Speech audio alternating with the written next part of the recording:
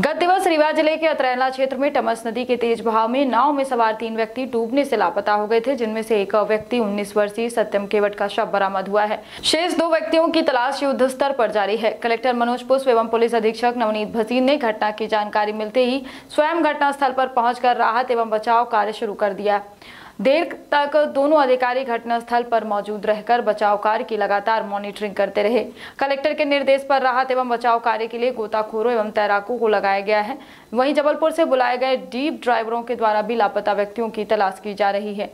नगर निगम रीवा में उपलब्ध एक बड़ा जाल घटनास्थल पर पहुँचाया जा रहा है, जिसका उपयोग कर लापता व्यक्तियों की तलाश की जाएगी और स्थानीय पुलिस एवं प्रशासन के द्वारा बचाव में अन्य संसाधन मंगाए जाकर लापता व्यक्तियों की तलाश की जा रही है। मौके पर एसडीएम तहसीलदार के साथ ही पुलिस अधिकारी मॉनिटरिंग करते हुए राहत एवं बचाव दल को निर्देशित कर रहे हैं। इस मामले में कलेक्टर मनोज पुष्प ने जानकारी दी की नदी में डूबने वाले व्यक्तियों के परिजनों को चार चार लाख रुपए की सहायता राशि स्वीकृत कराई गई है।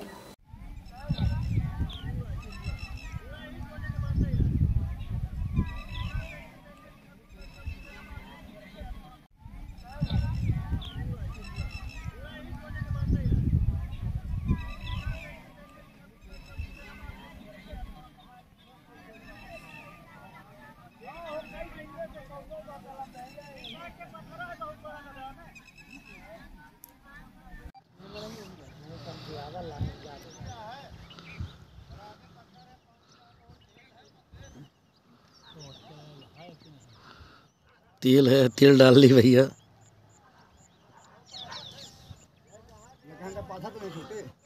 नहीं पत्थर नहीं आया बहुत तो वहाँ से हुआ घाट चल गई केवल की। हाँ, पत्थर नहीं। राजवाटिका विवाह घर सर्व सुविधा युक्त प्राकृतिक सुंदरता से ओत प्रोत